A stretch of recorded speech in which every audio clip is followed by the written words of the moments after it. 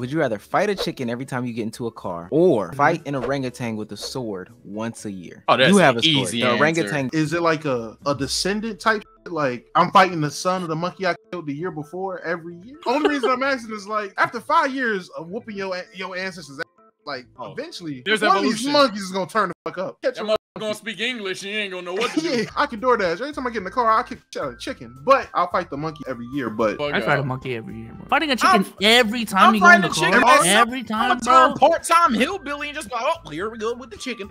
At some point, that's just gonna be second nature to me. Once or Listen, twice a week, they'll dodge one of those neck grabs and just peck you. They said orangutans are seven times as strong as humans. I'm gonna have a sword, bro. I got a sword. bitch. But- I think y'all trunks, bro. Like, No, I just know.